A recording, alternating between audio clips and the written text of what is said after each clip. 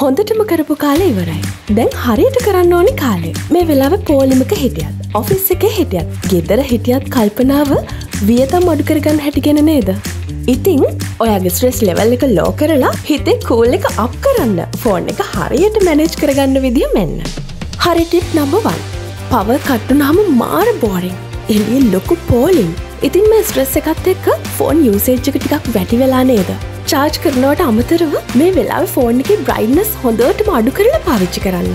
එතකොට දැන් තියනට වඩා වැඩි වෙලාවක් ෆෝන් එක යස් කරන්න පුළුවන්.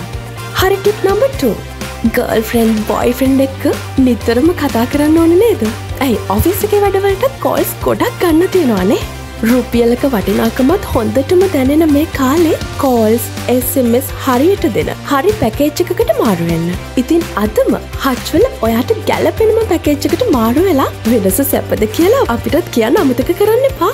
හරිටිප් නම්බත්‍රී අතේ ගානට හිතේ හැටියට සෝෂල් මීඩිය යන එක ප්‍රශ්නයක්ද? ටික්ටොක් ඇ් එක දිහා බැලුවත් ඩේට කැපෙනවද? ඔය ප්‍රශ්නට හොඳම සලූෂන් එක තමයි Hutch nonstop super combo package එක. දැන් වෙනදට වඩා ස්මාර්ට්වෙන්න හරි තීරණ ගන්න පුරුදුවෙන්න හරිටිප් නම්බ ෆෝ වීඩියෝවලින් අනවශ්‍ය විදිට ඩේට කැපෙන එක නතර කරලා ඩේටයි බැටරයයි හරියට මැනේජ් කරමුද? දැන්ම ෆස්බුක් සෙටිංස්වල්ට ගිහින් වීඩියෝ ඔටෝ පලේවන එක නවත්තන්න. ඒ විතරක් නෙවෙයි YouTube වීඩියෝ බලනකොට 360p රෙසලෝෂන් එකින් බලන්න. හොදටම කරන්න නම් හරි දෙවල් ඉගෙන ගන්න. මේ දෙවල් හරියට කරොත් මේ අමාරු කාලට මුහුණ දෙන්න බයවෙන්න ඕන නැහැ. ඉතින් මේ හරි ටිප්ස් වගේ යාලුවන්ටත් පෙන ෂෑ කරන්න.